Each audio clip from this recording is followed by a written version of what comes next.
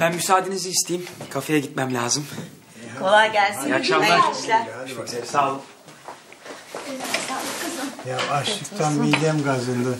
Şunun yanında böyle bir boru bir şeyler yok mu acaba? Ay ama böyle olmaz Menderes Bey yani.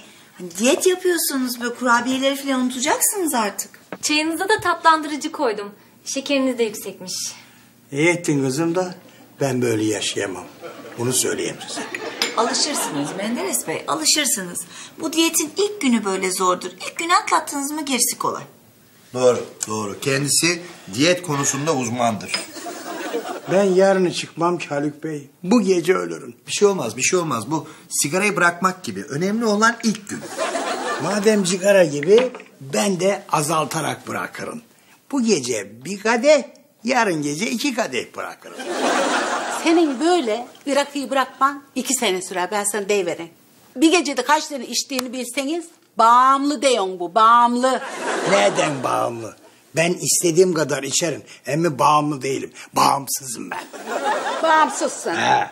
Ayol her akşam içiyorsun sen nasıl bağımsız olacaksın? Ya ben balıktı, kebaptı, kuru kuru gitmez diye balığı arkadaş olarak içiyordum. Balığa arkadaş rakı. Rakıya arkadaş kebap. Sana ne kimin kimle arkadaş olduğundan gari. Sen arkadaşların arasına girme. Sus, sus. Zaten açlıktan sinirlerim tepemde. Hadi yeter gari. Hadi sus bakayım. Kalk hadi gidelim. Tamam tamam kalkam. Eh, Bir an önce uyuyayım da belki açlığımı unuturum. Merak etme. Bacanan çilingir sofrasını kurmuştur. Gider gitmez gari ırakıları içmeye başlarsın. Aa olmaz ama öyle oradan buradan yemek daha ilk günden canım. Tabii tabii. Yani siz e, bu gece bacanağa gitmeyi unutun, burada kalın. Tabii yani bu saatte şimdi gidilmez. E, ben sizi sabah erkenden terminale bırakırım. Giderken yoldan eşyalarınızı da alırız. Tabii tabii Emre'nin odasına yatak yaparız size. Duygu size hazırlar.